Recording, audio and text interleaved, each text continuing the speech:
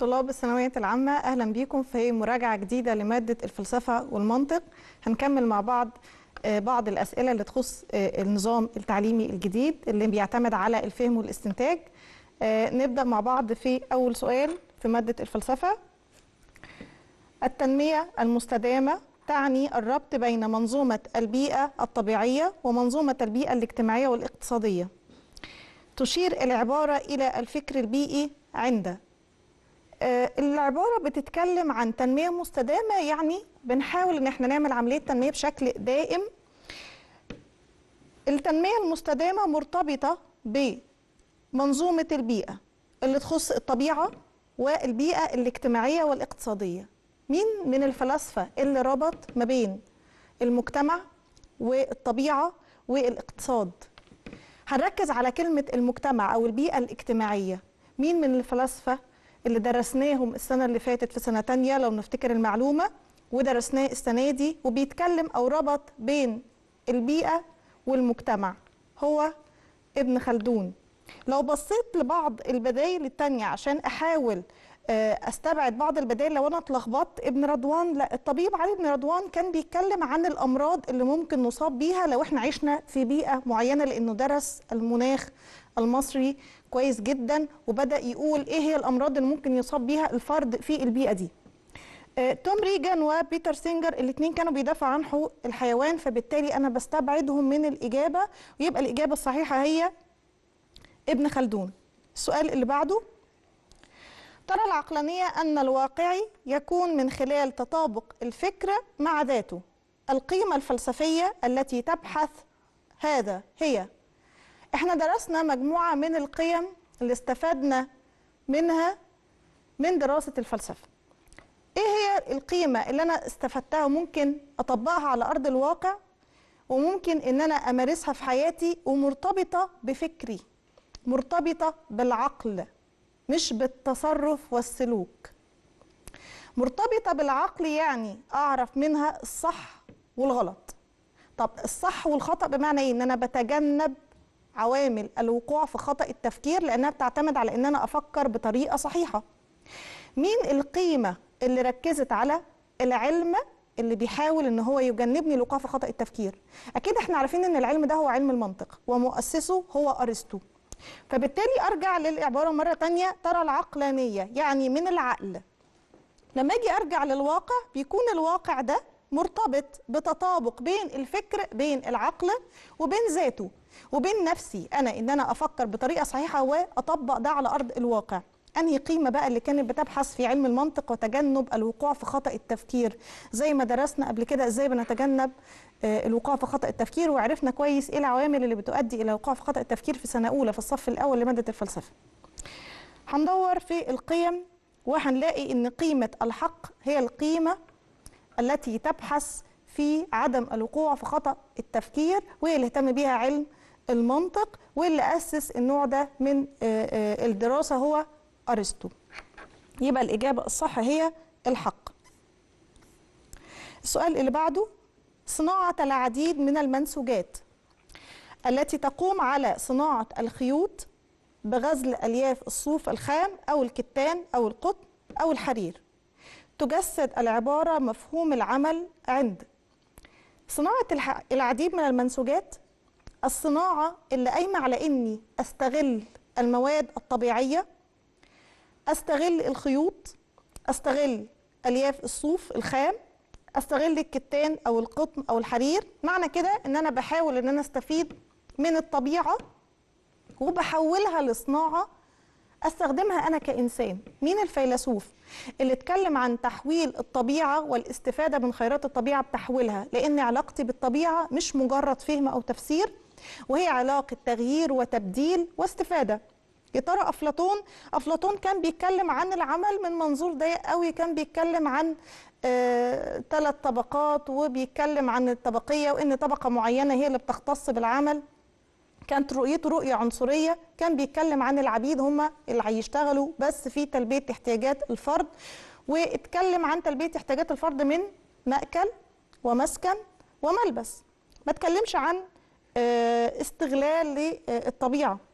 أرسطو كانت وجهة نظره ما تختلفش كتير عن أفلاطون لأنه اتكلم برضو عن العبيد وإن هم دول اللي بيختصوا بالعمل ما اتكلمش برضو عن استغلال الطبيعة. آدم سميث إحنا عارفين إن هو كان ليه وجهة نظر باليد الخفية اللي هي تنفيذ المصالح الشخصية أو رؤية الإنسان الشخصية في العمل اللي بتعتمد على حريته في اختيار العمل اللي هيقوم بيه. يبقى حر وبناء عليه. بيحقق مصلحة لذاته طبعا منفعة مادية أو معنوية على حسب. وفي نفس الوقت هو بيحقق المصلحة للمجتمع بتاعه. فكرة اليد الخفية عند آدم سميث كان ليها عائد اقتصادي للفرد وللمجتمع. هيجل هو اللي اتكلم عن علاقة الإنسان بالطبيعة وإزاي إن أنا بستغل خيرات الطبيعة لصالحي وإن أنا ببدل الطبيعة وبغيرها عشان أستفيد منها. أنا مش بس بفهم الطبيعة أنا بحاول إن أنا أستفيد منها كإنسان. يبقى العبارة تتفق جدا مع هيجل. اختلف اثنان من الأطباء حول تخفيض سعر تذكرة الكشف للمرضى غير القادرين أو إعفائهم فقرر أحدهم تخفيض السعر والآخر إعفائهم من الدفع واعطاء العلاج مجانا ولكنهم اتفقا على أن مساعدة المريض واجب مهني. يجسد ذلك الموقف طبيعة القيم من حيث أنها. طبعا إحنا درسنا القيم وعرفنا إن القيمة إما ذاتية أو موضوعية ودراستنا لذاتية القيم وموضوعيتها مفيش حاجة منهم بتلغي الأخرى. بمعنى إن إحنا في النهاية لما جينا درسنا الفلاسفة اللي أيدوا إن القيم ذاتية والفلاسفة اللي أيدوا إن القيمة موضوعية. اتفقنا في النهاية إن القيمة ذاتية وموضوعية في ان واحد. ما عندناش مشكلة في دي خالص. أنا عايز أعرف العبارة هنا بتتكلم عن إيه؟ أو الموقف ده بيجسد إيه؟ لما اتنين من الأطباء يختلفوا حول مساعدة المرضى يبقى هما الاتنين متفقين على المبدأ. هما الاتنين متفقين على المساعدة يبقى هما الاتنين متفقين على قيمة خير على فعل الخير. كده إحنا فاهمين السؤال. هما الاثنين ولكنهم اتفقوا على أن مساعدة المريض واجب مهني يعني في رؤية مشتركة بينهم حول تقديم مساعدة للمرضى طب إيه الحاجة اللي هم اختلفوا فيها؟ طريقة التنفيذ. كل واحد مننا ممكن يكون عنده فكرة كويسة جدا ولكن هيطبقها زي ما هو عايز من وجهة نظره الشخصية أو الذاتية. فواحد شايف إن هو ممكن يخفض سعر التذكرة شوية لغير القادرين والتاني قال لا أنا هعفيهم خالص من إنهم يدفعوا آآ آآ سعر التذكرة. الاثنين قدموا خير ولكن تنفيذهم للفعل مختلف. فكرة التنفيذ مختلفة لأن القيمة ذاتية. كل واحد بيشوفها حسب وجهة نظره. لما نيجي نطبق القيم على أرض الواقع بتلاقي أن سلوك الفرد بيختلف من شخص للتاني. ولكن هما الاتنين مختلفين على تقديم خير يبقى معنى كده أن الخير هنا مطلق. مفهومه واحد عندهم هما الاتنين وهو تقديم المساعدة.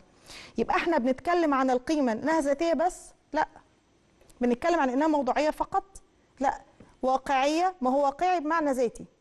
لو أنا طبقتها على أرض الواقع هي بتختلف من شخص للتاني. يبقى أنا بتكلم عن ذاتية وموضوعية القيم في آن واحد. السؤال اللي بعده.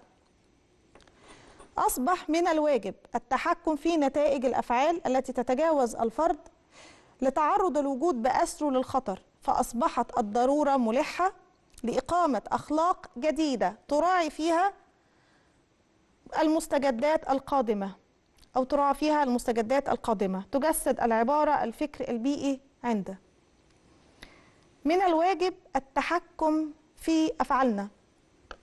الأفعال أنهي أفعال المفروض أن أنا أتحكم فيها؟ اللي بتتجاوز الفرد. وبتخلي الكون كله يقع تحت وطئة الخطر. ندي مثال بسيط كده إزاي إن تصرفاتنا إحنا كأشخاص أو كأفراد عاديين بتضر بالمجتمع ككل. مشكلة كبيرة من تصاعد الدخان وعوادم السيارات بتسبب اختلال في درجات الحرارة وده إحنا كلنا عارفين المشكلة دي وهي طبقة الأوزون اللي حصل لها اختلال أو ثقب تسبب في خلل في درجات الحرارة في فصول السنة. فبالتالي دي حاجة أنا مش عارف أغيرها. أنا خلاص اتصرفت تصرفات خاطئة وعرضت المجتمع كله الأرض كله للخطر ومش عارف أصلح ده. ما عنديش المقدرة إن أنا أصلحه. فبقى في ضرورة إن أنا يكون عندي مبادئ وأخلاقيات وقوانين وتشريعات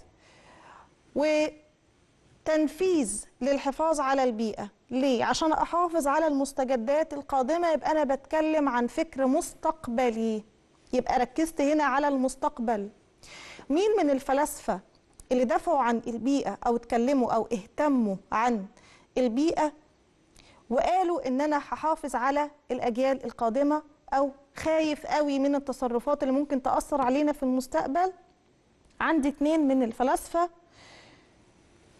ومنهم كان هانز يونس. فبالتالي لما أجي أدور في البدايل مين الشخصية اللي كانت بتتكلم عن المستقبل لقيت في دماغي هانز يونس. صح لقيته في البدايل يبقى الإجابة بتاعتي صحيحة مليون في المية.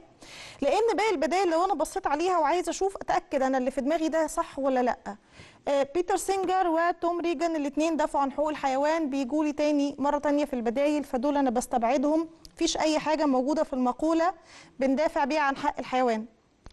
أرني نايس ده كان بيتكلم عن الأيكولوجيا العميقة وكان بينظر إلى كل الكائنات الحية بعمق ليه نظرة عميقة شوية واداني مجموعة من المبادئ مش هتتعارض مع آه، آه، المقولة. ولكن اللي ركز على الفكر المستقبلي هو هانز يونس.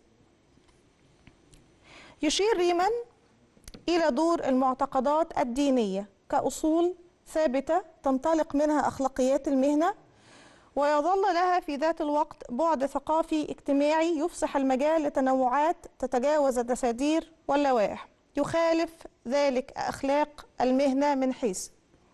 نركز على كلمة يخالف. ليه؟ عشان يخالف دي معناها إن هذه العبارة تتعارض مع أي جزء من البدائل اللي جاية.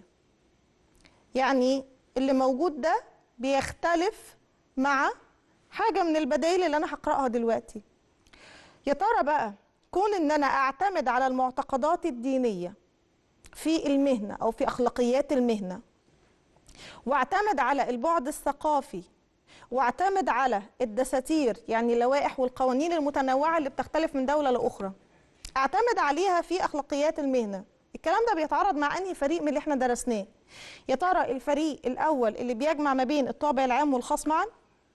ولا الفريق اللي قال ارتباطها بالطابع الثقافي وهو ده الفريق الثاني فحص الثقافة السائدة في المجتمع وده كان الفريق الثالث ولا الفريق اللي اتكلم عن نسبية الأجور آه، للموظفين؟ طبعا العبارة تخالف الفريق الأول ولو رجعنا للكتاب. هتلاقي إن الفريق الأول هو اللي جمع ما بين الطابع العام والخاص ورفض أي تدخلات سواء كان تدخل ديني أو تدخل من خلال السلطة السياسية اللي موجودة في الدولة. هو مش عايز أي تدخلات. شايف إن الممارسة العملية للمهنة ممارستنا للمهنة بشكل عملي هي دي المعيار الأمثل لقواعد هذه المهنة. فبالتالي أنا مش هلجأ لحاجة تانية غير ممارستي العملية. ورافض أي نوع من التدخلات سواء كان سلطة دينية أو سياسية. فبالتالي العبارة تخالف الفريق الأول اللي جمع الفريق الأول اللي جمع ما بين الطابع العام والطابع الخاص معا. السؤال اللي بعده عملية تتم عن طريق الحصول على مني الرجل حيث يتم الجمع بينه وبين البويضة في انبوب زجاجي وبعد يومين يقوم الطبيب بإعادة زرع الجنين الذي بدأ يتشكل في رحم المرأة المريضة. يعبر ذلك عن هبتدي أقرأ آه، العبارة وأركز. إحنا هنا بنتكلم عن مرأة مريضة يعني عندها مشكلة في الإنجاب. وأنا اتكلمت في منهجي عن مجموعة من المشاكل اللي تخص عملية الإنجاب اللي هو الإنجاب الصناعي. الإنجاب الصناعي. هبص على البدائل كده كان في استئجار أرحام وكان في إخصاب خارج الرحم وكان في بنوك مني وكان في بنوك الأجنة. كل المشكلات اللي موجودة في البدايل تخص مشكلة الإنجاب الصناعي. طب العبارة هنا أو الموقف ده بيشير لأنهي قضية فيهم؟ عندي امرأة مريضة تعاني من عدم الإنجاب فلجأت إلى الطبيب عشان يتم زراعة جنين من خلال تلقيحها أو تلقيح البويضة. الكلام ده كان بيتم في استئجار الأرحام؟ طبعا لا. استئجار الأرحام مشكلة مختلفة تماما. بنوك المني اللي منها آه اتكلمنا عن بنوك مني العباقرة أو الترويج بما يسمى بنوك مني العباقرة؟ لا خالص. هنا دي مشكلة تخص زوجين. الزوجة هنا عندها مشكلة في الإنجاب.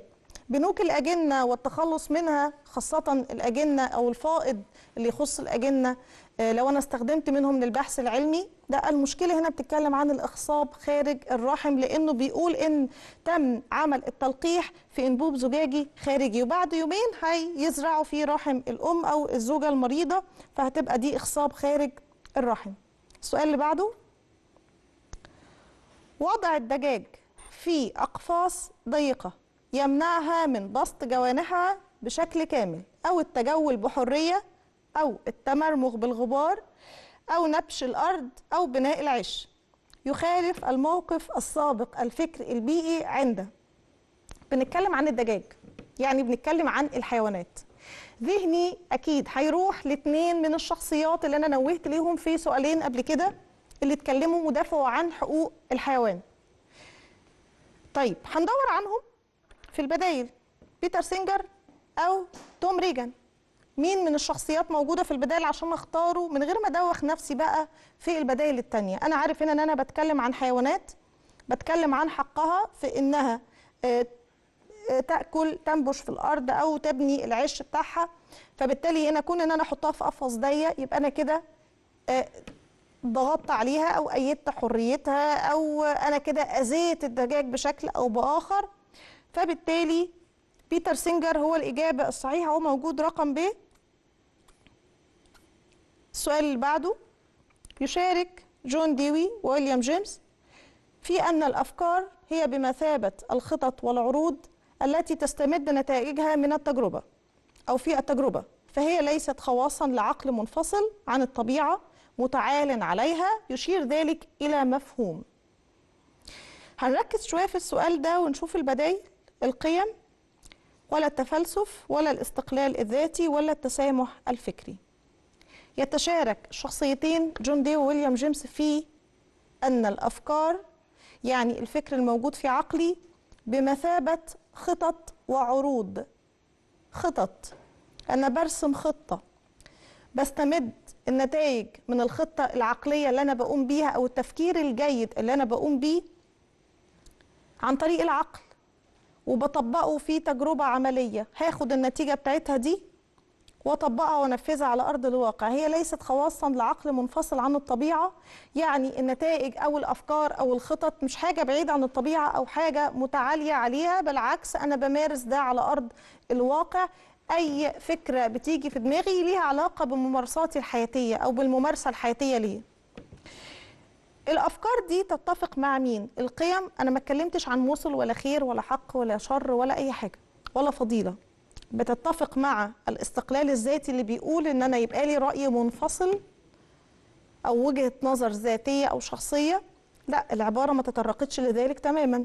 بيتكلم عن التسامح الفكري إن أنا أقبل آراء الآخرين أو أقبل بتنوع الأفكار. لا هو بيتكلم عن إن أنا أفكر كويس إن أنا عقلي يفكر كويس يحط خطة كويسة. يعني أفكر تفكير ناقد يعني بتكلم عن معنى أو مفهوم التفلسف. السؤال اللي بعده المدير الذي يعمل على إهانة موظفيه وعدم احترامهم وتقديرهم يخالف ذلك أخلاقيات الوظيفة العامة من حيث آه، أكتر من سؤال جاي يخالف. نركز شوية على يخالف يتعارض ليه؟ لأن أنتوا ساعات بتقرأوا المقولة أو العبارة أو المثال وتيجوا تتلخبطوا وما تعرفوش إن الكلام اللي موجود فوق ده يختلف مع البديل اللي المفروض إن انت هتختاره. فنركز شوية في نهاية الجملة. الكلمة هتفرق معانا كتير. فهمي للمقولة هيفرق معايا كتير أو للموقف. فأنا عايزة أشوف هنا المدير اللي بيهين الموظفين بتوعه ما بيحترمهمش وما بيقدرهمش. الكلام ده بيخالف إيه؟ من آه، اللي إحنا درسناه في أخلاقيات الوظيفة العامة. أخلاقيات الوظيفة العامة كانت بتشمل الآليات والمبررات والعناصر. فأنا عايزة أعرف هنا ديت تختلف مع مين؟ مع سلوك الموظفين في الدرجات العليا كنموذج ولا تحسين الخدمات المقدمة للجمهور ولا المدير اللي بيعمل كده بيعزز من أداء المنظمة كوحدة كلية ولا بيكون عنده شفافية في تنفيذ الأعمال من جانب الموظفين؟ لو أنا بفكر كويس أنا هنا بتكلم عن مدير فبالتالي هو في درجة عليا فبالتالي المفروض إن هو يبقى نموذج يحتذى بيه يعني مثل أعلى لأي موظف. فأنا هنا بتكلم عن سلوك الموظفين في الدرجات العليا كنموذج ودي الإجابة الصحيحة. شوفوا السؤال اللي بعده.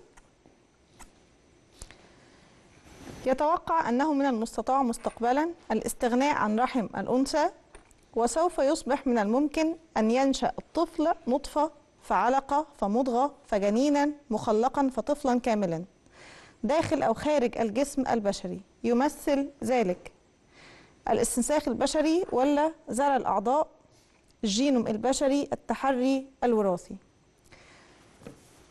من المستطاع مستقبلا إن إحنا نستغنى عن الأنثى أو رحم الأنثى وهيبقى من الممكن إن إحنا ننشئ طفل آه، بعيدا عن جسم الإنسان تماما. دي بتمثل أنهي مشكلة من اللي إحنا درسناها؟ استنساخ ولا زرع أعضاء ولا جينوم ولا تحري وراثي؟ أكيد هي الإجابة الاستنساخ طيب نشوف السؤال اللي بعده. طبعا أنا ما عنديش مشكلة خالص مع البدائل التانية وأكيد أنتم مش هتتلخبطوا زرع الأعضاء مختلفة والجينوم مختلف والتحليل الوراثي قضية مختلفة تماما فما فيهاش لخبطة. السؤال واضح جدا. السؤال اللي بعده. يقول برنارد دافيد ومن التكلف أن نشكك في شرعية اختبارات فرز العمال بحجة حق الأفراد المطلق في فرص متساوية للحصول على العمل.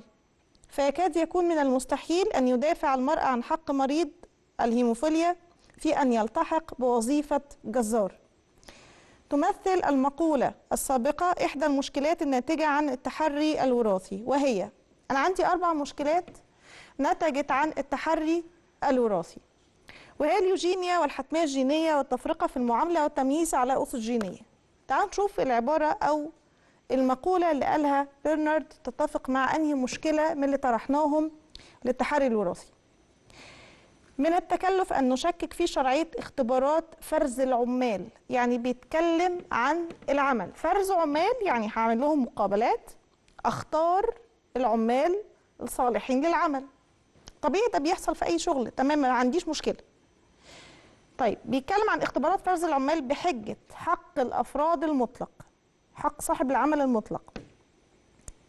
في فرص متساوية للحصول على العمل. المفترض إن هو عارف إن كل الأفراد اللي هيتقدموا له عندهم فرص متساوية في إنهم يحصلوا على هذا العمل. فيكاد يكون من المستحيل أن يدافع المرء عن حق مريض. من المستحيل بقى إن أنا ألاقي في شخص أو صاحب عمل بيدافع عن حق أحد الأشخاص الذي لديه مرض من الأمراض ويمنعه من إنه يلتحق بهذه الوظيفة.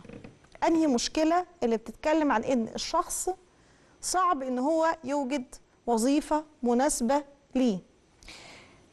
هنلاقي اليوجينيا كانت بتتكلم عن مشكلة مختلفة وهي التحكم في الإنجاب. الحتمية الجينية كانت بتتكلم عن إن أنا بتصرف تصرفات وفقا للي أنا ورثته من جينات وده كون لي حاجة اسمها طبقة المنحطين جينيا.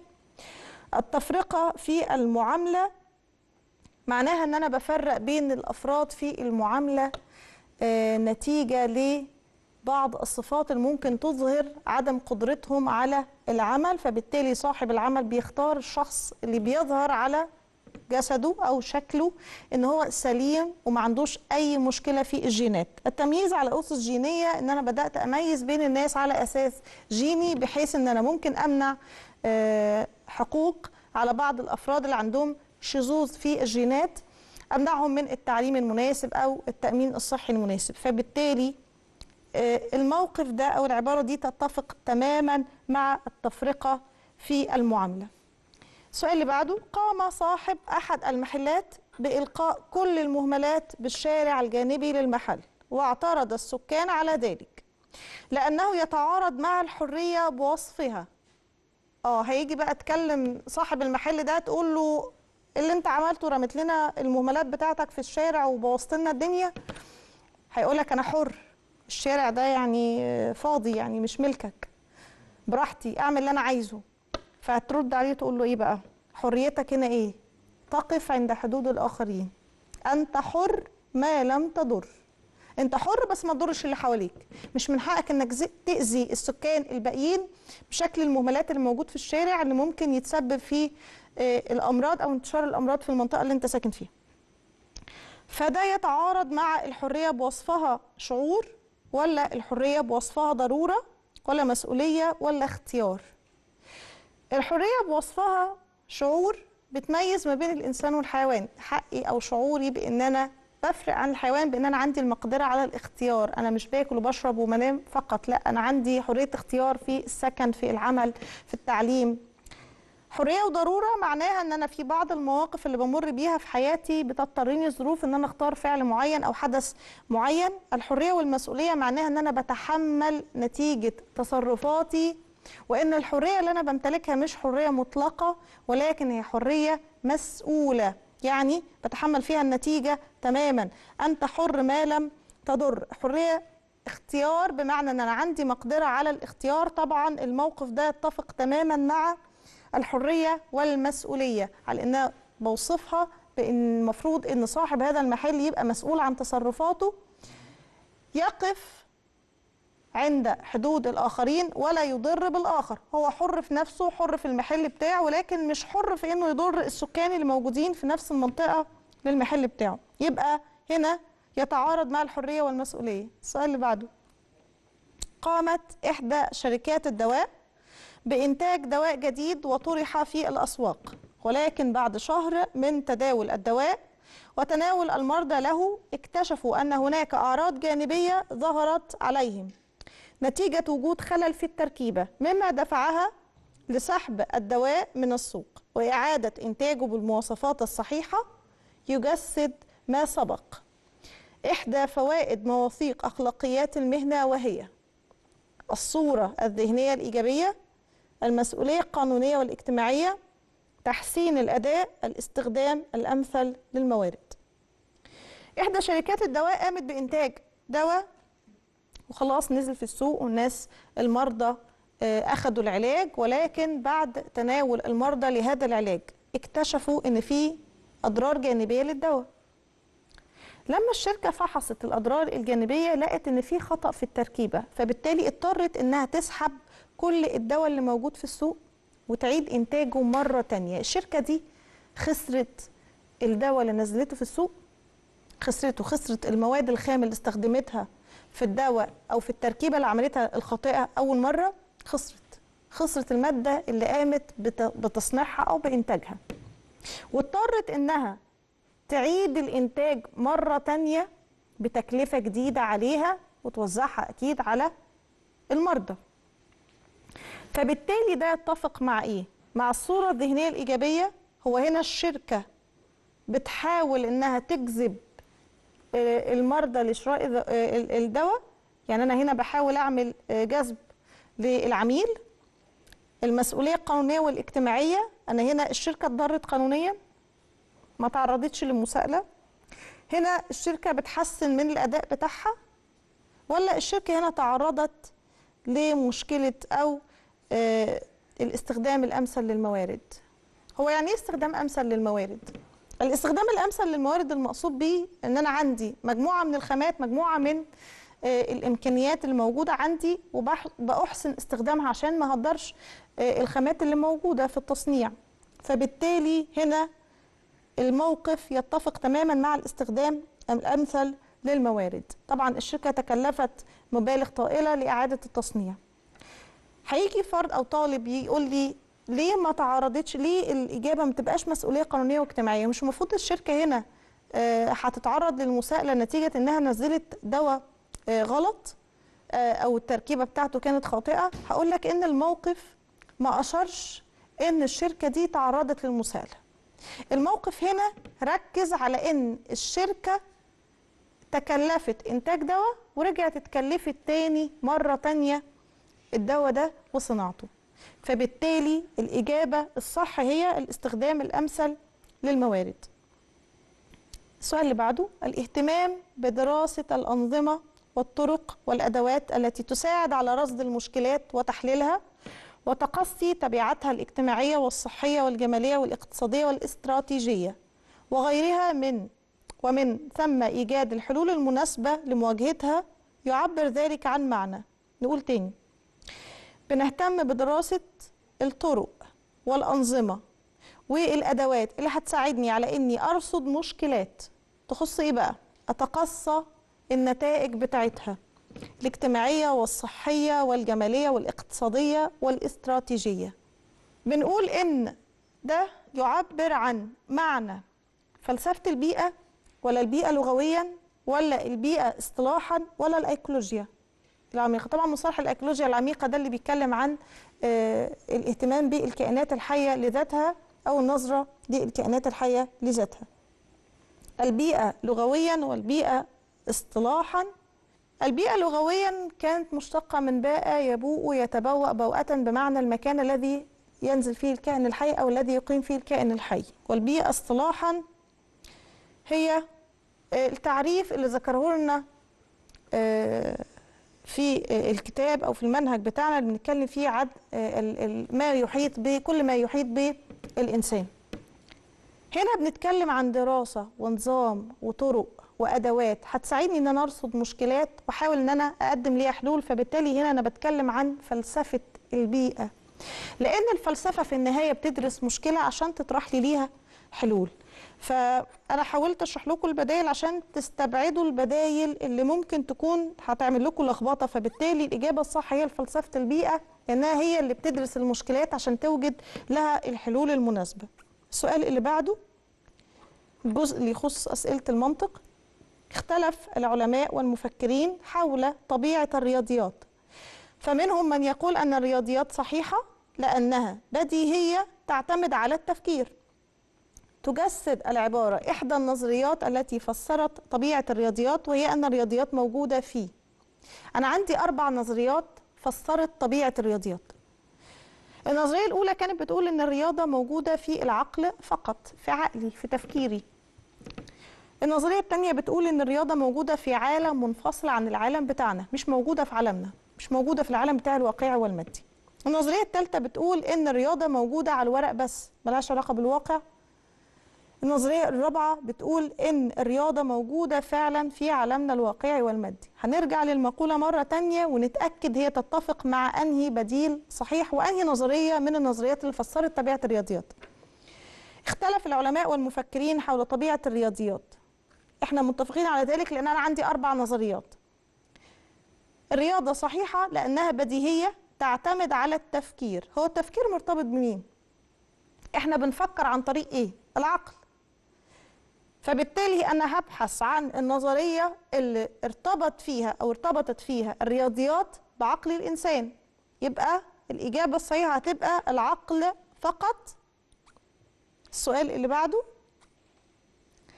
التفسير المؤقت للظاهرة يتم في ضوء مشاهدات علمية منهجية تحليلية. تستخدم وسائل وأجهزة وأدوات ذات إمكانيات تسجيلية وقياسية. يعبر ذلك عن العلم من المنظور المعاصر من حيث الطبيعة ولا الغرض ولا الفرد ولا الموضوعية. إحنا بنتكلم عن العلم من المنظور المعاصر. تفسير مؤقت لظاهرة. خطوة رقم واحد في العلم من المنظور المعاصر إن أنا ببحث عن إيه. إيه الخطوة اللي أنا ببتدي بيها؟ وإيه هو نتيجة تحليلي أو استخدامي للأجهزة والأدوات وتسجيلي للنظريات القديمة. هوصل لإيه؟ هوصل منها لتفسير مؤقت. التفسير المؤقت ده أنا بعتبره إيه؟ الفرض العلمي. فبالتالي هنا أنا بتكلم عن الفرد طيب طالب هيجي يقول لي ليه ما اخترناش الطبيعة ولا الغرض؟ طب ما هو الغرض من العلم من المنظور المعاصر إن أنا أوصل لفرد صوري جديد. ليه ما اخترتش الغرض. أنا هنا مش بتكلم عن أهداف أنا بتكلم عن تفسير مؤقت والتفسير المؤقت للظاهرة هو الفرض العلمي. والطبيعة اللي تخص المنهج من المنظور المعاصر إحنا قلنا فيها إن إحنا ربطنا بين المنهج الاستقرائي والمنهج الاستنباطي. فبالتالي أنا ما تطرقتش في المقولة للجمع ما بين الاستقراء والاستنباط. الموضوعية بمعنى عدم التحيز ودي من الخصائص. مش من آه، طبيعة العلم. السؤال اللي بعده مصطلح أطلقه أفلاطون على موجه السفينة وهو يقوم على التغذية المرتدة من خلال متابعة وضع ما خلال فترات زمنية معينة لتحديد الوضع اللاحق. تشير العبارة إلى مفهوم. مش هقول إن هذا المصطلح اللي قاله أفلاطون يعني أفلاطون قال المصطلح ده من زمان ومطبق من عهد أفلاطون. لا ولكن اللي قاله أفلاطون ده يتفق مع إيه من اللي توصلنا إليه في العلم دلوقتي. عشان ذهنكم هيروح هو أفلاطون كان يتفق معاه الثقافة الرقمية والسلوك الرقمي والسبرناطيقه والصحة الرقمية؟ لا أيام أفلاطون ما كانش موجود.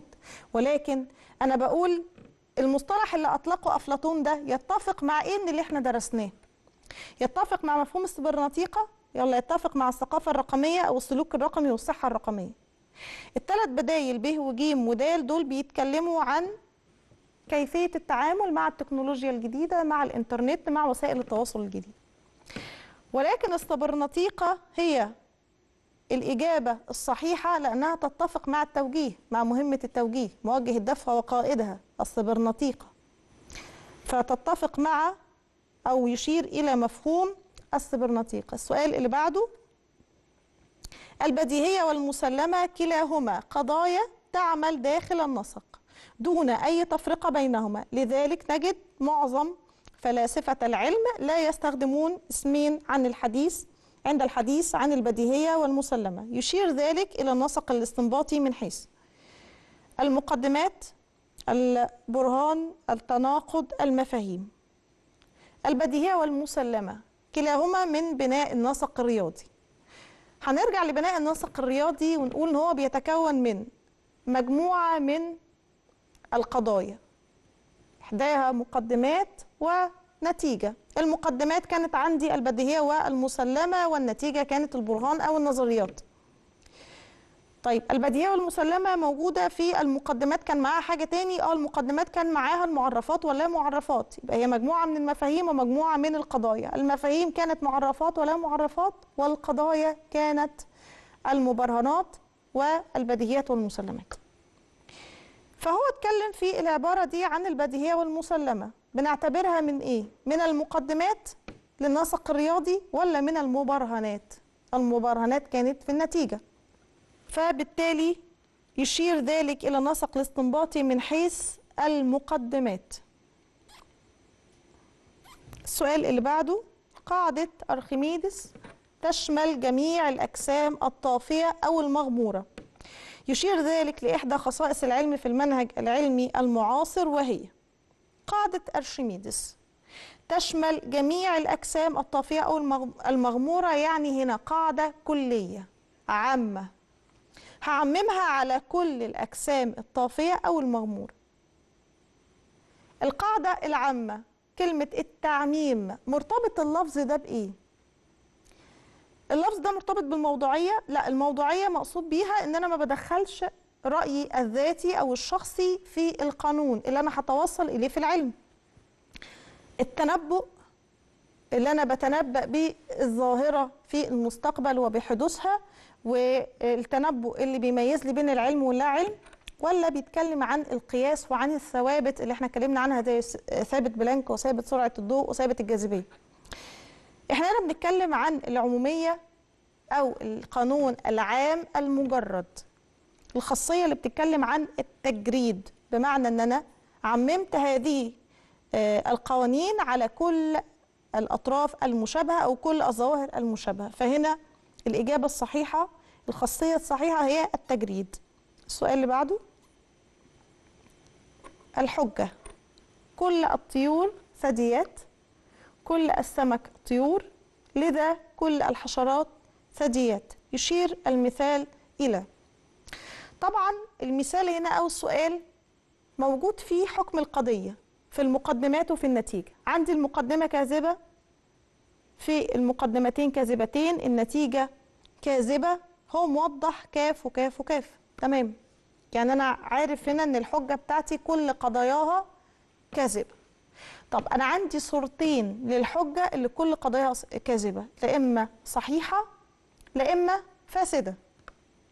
طب عايزين نعرف. أميز إزاي بين الحجة الصحيحة والحجة الفاسدة؟ الحجة الصحيحة نتيجتها تلزم عن المقدمات. الحجة الصحيحة نتيجتها تلزم عن المقدمات. إنما الحجة الفاسدة هلاقي إن النتيجة فيها مختلفة عن المقدمات. نشوف المثال ده. كل الطيور ثدييات. طبعا قضية كاذبة ما فيهاش نقاش. كل السمك طيور برضو قضية كاذبة. لذا كل الحشرات ثدييات. وأنت بتحل كده؟ حط خط تحت كلمة حشرات. يا ترى هي موجودة في المقدمات؟ مش موجودة. نرجع فوق للمقدمتين مفيش كلمة حشرات خالص.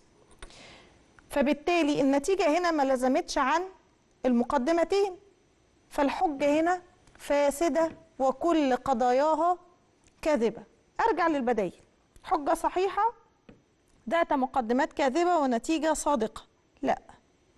حجة صحيحة ذات مقدمات ونتيجة كاذبة. قلنا يعني هنحذف إجابتين اللي هو ألف وب لأن هي أصلا حجة مش صحيحة لأن النتيجة جت مخالفة للمقدمات. فهدور في جيم ودال على الإجابة الصحيحة. حجة فاسدة ذات مقدمات ونتيجة كاذبة. أيوة دي الإجابة. هشوف دال أقرأها برضو. حجة فاسدة ذات مقدمات ونتيجة صادقة. لا لأن عندي الحكم هنا لكل القضايا كاذبة. طب لو أنا مش عندي حكم القضية لو كل لو كاف الرمز ده مش موجود حضرتك فكر كده هو الطيور ثدييات؟ لا الطيور من اللا ثدييات. السمك طيور؟ لا قضية كاذبة. هفكر كده أشوف أشغل مخي شوية أعرف القضايا دي صادقة فعلا ولا كاذبة؟ فبالتالي الإجابة الصحيحة حجة فاسدة ذات مقدمات ونتيجة كاذبة. شوف السؤال اللي بعده؟ نلاحظ الآن تغيير عميق في طرق التعليم الحالية بإدخال التعليم المبرمج تجسد العبارة. آه، تغيير عميق في طرق التعليم. أعتقد يعني أنتم ممارسينها بقالكم سنتين والسنة دي السنة الثالثه باستخدام التابلت والظروف اللي بتمر بيها البلاد للكورونا. أكيد بتتعلموا آه، عن طريق طبعا البرامج التعليمية وبتلجأوا إلى الإنترنت. ففي تغيير في طرق التعليم اتفقنا عليها. العبارة دي بتجسد سلبيات تكنولوجيا الروبوتات. هستبعد الإجابة. هنحذف كده إجابتين. هي مش سلبيات ولا ألف ولا ب. سلبيات تكنولوجيا المعلومات لا طبعا. آه، إيجابيات تكنولوجيا المعلومات. هبص شوية في الإجابة دي وأبص الإجابة اللي بعدها الصحة والسلامة الرقمية. في طالب ممكن يقول آه، إدخال طرق جديدة للتعليم ممكن تكون من الصحة والسلامة الرقمية. لا نرجع كده للصحة والسلامة الرقمية واعرف إن معناها إن أنت تتجنب المخاطر الجسدية آه، اللي ليه علاقة بالانترنت يعني تتجنب إن أنت تكون مدمن الإنترنت عشان خاطر ما تضرش لعينك ولا عمودك الفقري. لا. فبالتالي أنا بتكلم عن إيجابيات تكنولوجيا المعلومات. دي نقطة إيجابية جدا إن أنا أستخدم تكنولوجيا المعلومات في التعليم. شوف السؤال اللي بعده. كل العصافير لها جناحان وتطير. كل النسور لها جناحان وتطير. كل الصقور لها جناحان وتطير. رجعنا تاني للحجج. من المرجح أن كل ما له جناحان يطير. يجسد ذلك المثال. حجة استقرائية وفقا للتفسير التقليدي ولا حجة استقرائية وفقا للتفسير المعاصر ولا حجة استنباطية وفقا للتفسير التقليدي وحجة استنباطية وفقا للتفسير المعاصر. أنا هقول لكم على حاجة تحذفوا بيها إجابتين من دماغكم لما تيجي تحلوا السؤال اللي يخص الحجة. أول ما أشوف كلمة من المرجح أن من المحتمل أن ولاقي مجموعة من المقدمات اللي بتشير إلى جزيئات هتوديني لقاعدة عامة يبقى أنا كده رحت على طول ناحية الحجة الاستقرائية. إنما الحجة الاستنباطية قلنا في علاقة حاسمة بين المقدمات والنتيجة. النتيجة تلزم عن المقدمات لزوم ضروري. فما بقولش من المحتمل.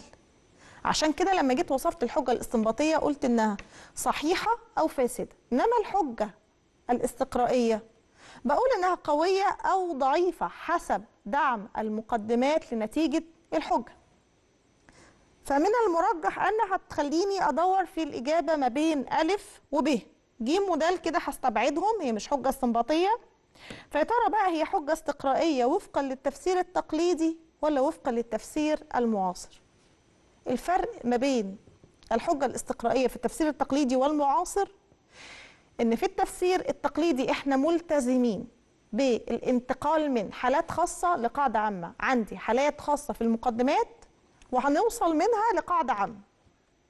ولكن في الحجة الاستقرائية للتفسير المعاصر قلنا ان إحنا ممكن فيها ننتقل من العام إلى العام أو من الخاص إلى الخاص.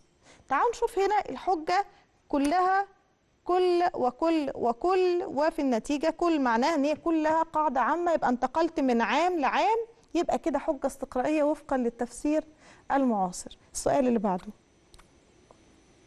يقصد بها أي تغيير يحدث في العلة لابد أن يحدث في المعلول. تجسد العبارة إحدى طرق ميل جون ستيوارت ميل اللي قال لي العلاقة بين العلة والمعلول من خلال مجموعة من الطرق. طيب أي تغير يحدث في العلة؟ لابد وأن يحدث له تغير في المعلول. طيب ده يتفق مع أي طريقة؟ الاتفاق؟ الاتفاق إذا وجدت العلة وجد المعلول. الاختلاف إذا غابت العلة غاب المعلول. الجمع بين الاتفاق والاختلاف جمعت بين الحضور والغياب. التلازم في التغير هي دي المقصود بيها إن في حالة تغير في العلة والمعلول. تمام؟ والعلاقة بين العله والمعلول علاقة إيه؟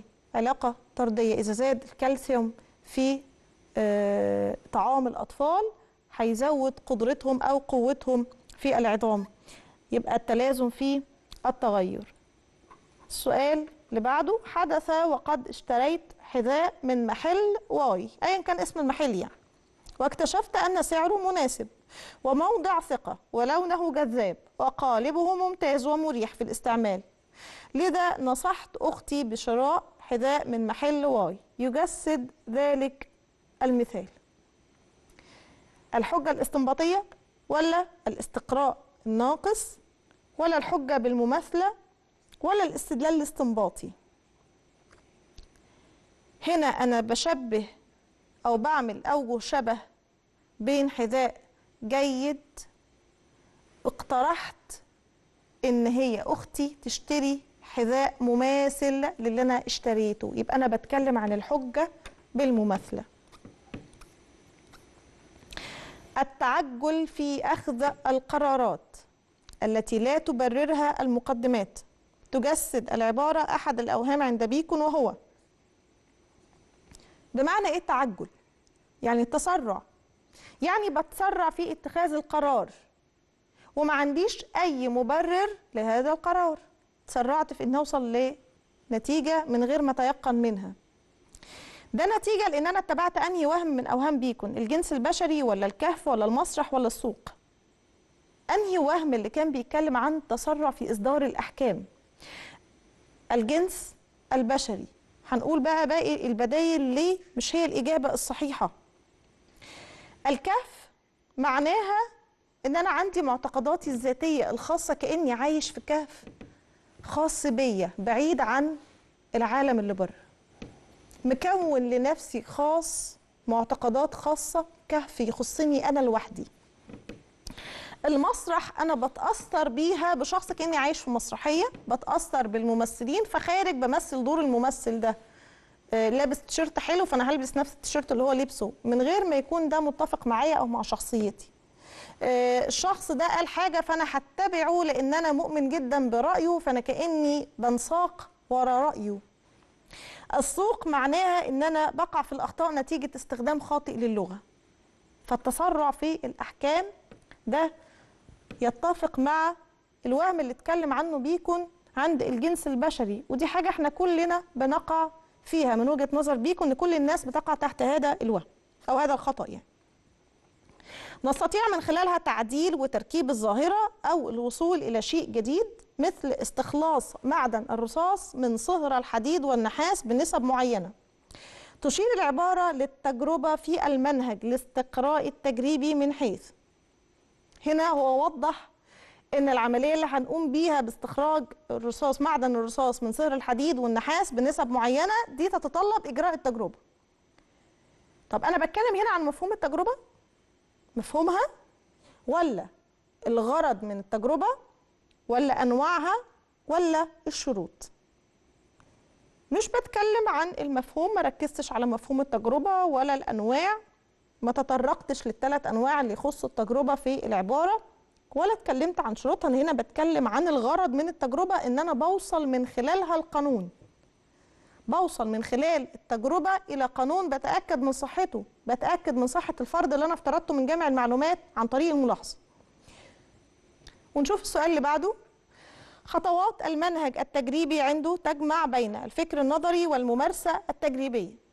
يعبر ذلك عن فكر مين؟ جابر ابن حيان كارل هيمبل فرانسيس بيكون جون ستيوارت ميل. خطوات المنهج التجريبي لو أنا بتكلم عن خطوات منهج استقرائي تجريبي يبقى أنا كان عندي شخصيتين درستهم وهما جابر بن حيان والحسن بن الهيثم. طب تعالوا نشوف الخطوات. تجمع عنده بين الفكر النظري والممارسة التجريبية يعني جمع بين شيئين. طب المنهج الاستقرائي التجريبي كان بيعتمد على الممارسة التجريبية فقط أو هيعتمد على الممارسة أو هركز فيها على الممارسة التجريبية. يبقى هستبعد جابر ابن حيان. جمع ما بين حاجتين فكر نظري وممارسة تجريبية. مين اللي جمع بين اتنين من العلوم؟ الاستقرائي والممثل في التجربة العلمية والاستنباطي وهو وجهة النظر النظرية زي ما هم ذاكرين في المقولة. الشخصية دي مين؟ عندي شخصيات أو نماذج كانت مطبقة لاستخدام هذا المنهج وهما نموذج كارل هيمبل ونموذج كلود برنار وويليام هويل. مين معانا في البدايل وهو كارل هيمبل؟ يبقى هو ده الإجابة الصحيحة.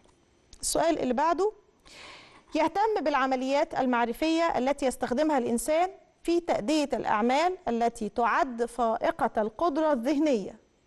يجسد ذلك مفهوم. فائق القدرة الذهنية معناها أن أنا بتكلم عن حد ذكي مستواه ذكي. فمهتم بالعمليات المعرفية اللي بيستخدمها الإنسان يعني أنا مهتم جدا بإزاي الإنسان بيتعامل مع مشكلاته بذكاء. يبقى أنا هنا بتكلم عن مفهوم إيه؟ الذكاء الاصطناعي. شوف مع بعض آخر سؤال. اهتم بدراسة حركة الذرات التي إن ازدادت سرعة كانت حرارة وإن قلت سرعة كانت برودة وإن تزاحمت كانت صلابة. وإن تباعدت كانت ليونة من خلال استخدامه للمنهج الاستقرائي التجريبي. وهو جابر بن حيان الحسن بن الهيثم جون ستيوارد ميل وفرانسيس بيكون. هتحتاروا شوية في الاختيار ما بين جابر بن حيان والحسن بن الهيثم. الشخصيتين دول اللي استخدموا المنهج الاستقرائي التجريبي. طيب هنا إحنا بنتكلم عن تجربة عملية. ولو رجعنا للشخصيتين هتلاقوا إن جابر ابن حيان هو رجل التجارب العلمية أو هذا ما أطلق عليه زي ما درسته. الحسن بن الهيثم هو عالم بصريات ورياضيات ودرس الفلك والفيزياء فبالتالي مين اللي كان أكثرهم أو أطلق عليه رجل التجارب العلمية؟ هو جابر بن حيان. وبما إني بتكلم هنا عن حركة ذرات وبتكلم عن تجارب علمية فهختار جابر ابن حيان ودي هتبقى الإجابة الصحيحة. أتمنى تكونوا استفدتوا من المراجعة النهاردة آه وإن شاء الله تجاوبوا الأسئلة بطريقة آه كويسة. وتحاولوا أن أنتوا تختاروا البديل الصحيح من خلال فهمكم للسؤال بشكل كويس. أشوفكم في المراجعة جاية إن شاء الله.